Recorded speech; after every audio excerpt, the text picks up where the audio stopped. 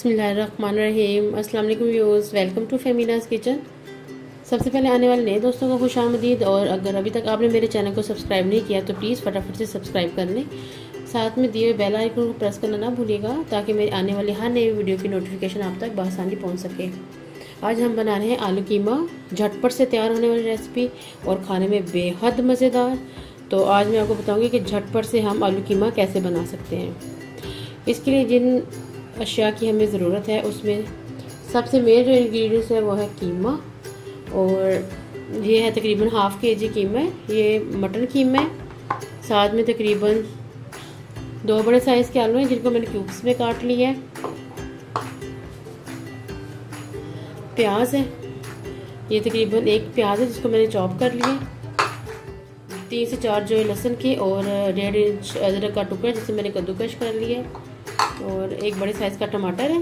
इसको भी मैंने चॉप कर लिया।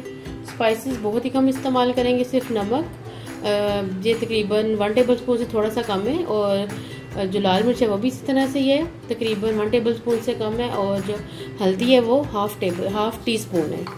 स्पाइसेस में आज हम यूज़ करेंगे सिर्फ़ सूखा धनिया। ये साबुत है, लेकिन इसको मैं दरदरा सा कर लिया और साथ में है गरम मसाला। और ज़ीरा है, एक लौंग है, एक दालचीनी है, दो से तीन काली मिर्चें और कितनी प्यारी हरी मिर्चें। चलिए स्टार्ट करते हैं। अब मैं कढ़ाई लूँगी और इसमें तकरीबन तीन से चार टेबल स्पून मैं इसमें डालूँगी कुकिंग ऑयल आप चाहें तो घी का इस्तेमाल भी कर सकते हैं।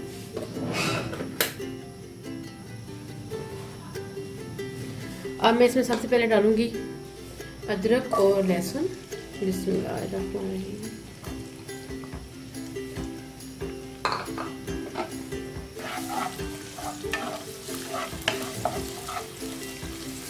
फ्लेम जो मैंने हाई रखी हुई है।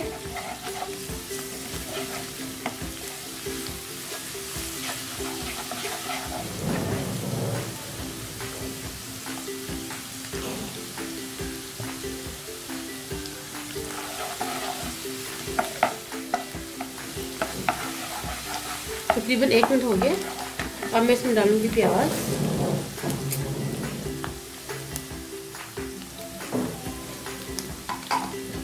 साथ ही डालेंगे टमाटर।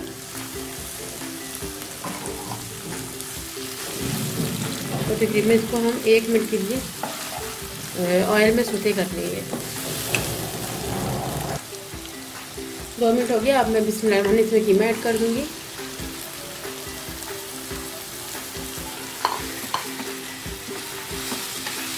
अब मैं इसको हल्के हाथ से मिक्स करूँगी ऑयल में। हमने बस इसका कलर चेंज करना है।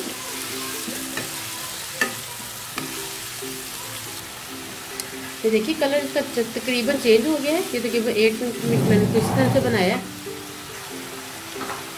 अब इसमें मैं मसाले डाल दूँगी।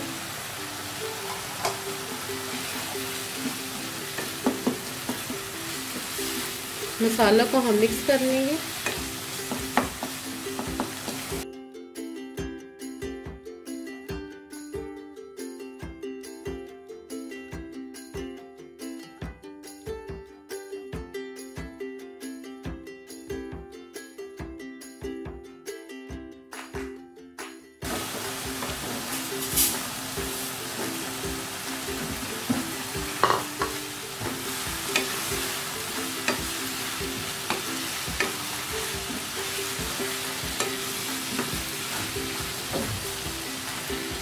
और मैं इसमें डालूँगी सूखे गर्म मसाले।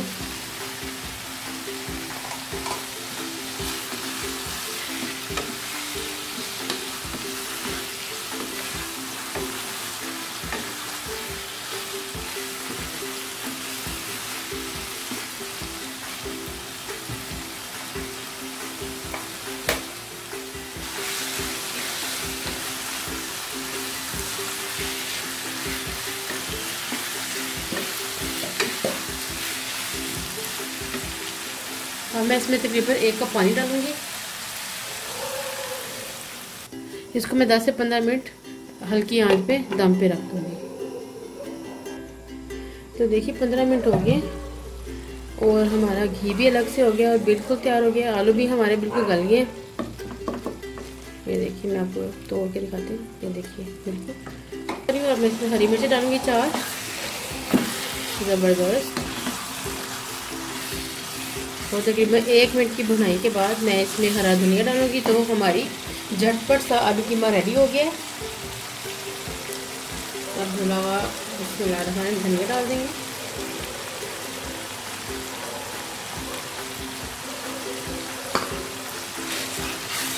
इसको मिक्स कर देते हैं।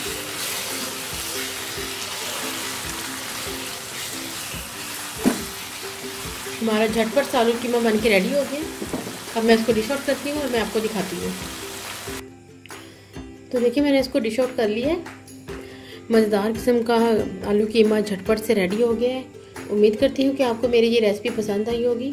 प्लीज़ कमेंट बॉक्स में ज़रूर बताइएगा और मेरे चैनल को ज़रूर सब्सक्राइब करें। अपनी दुआ में याद रखिएगा। अल्लाह हाफिज़।